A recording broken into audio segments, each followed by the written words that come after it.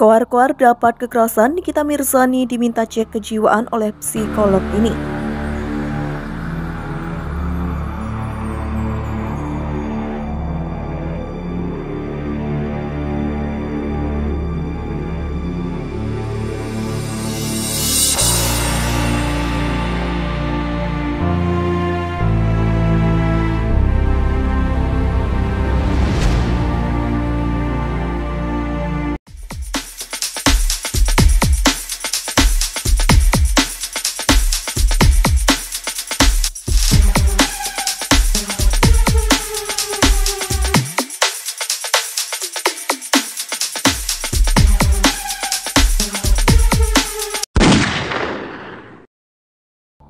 Kabar Nikita Mirzani mendapat kekerasan secara fisik dan mental dari Rizky Irmansyah menjadi perhatian publik.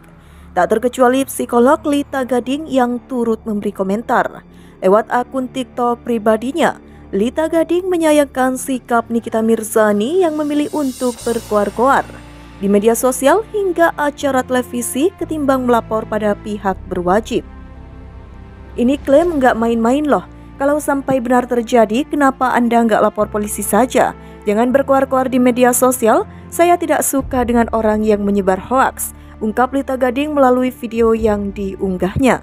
Menurut Lita Gading, klaim Nikita Mirzani tersebut dapat membawa dampak buruk terhadap nama baik Rizky Irmansyah.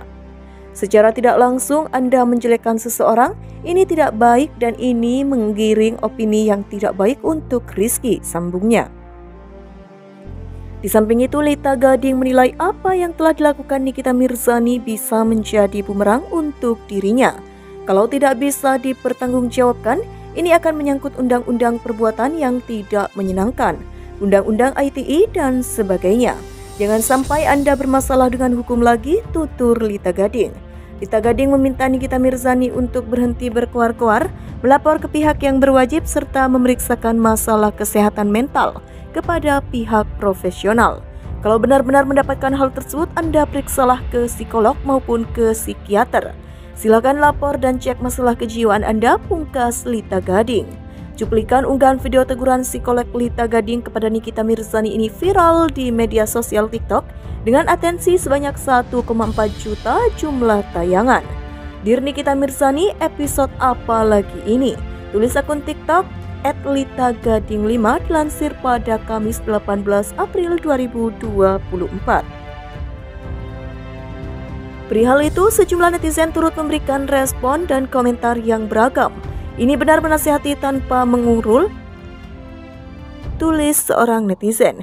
Intinya Nikita itu kecintaan bu, ucap netizen lain. Dari awal memang sudah kelihatan endingnya bakal begitu, sambung netizen lain.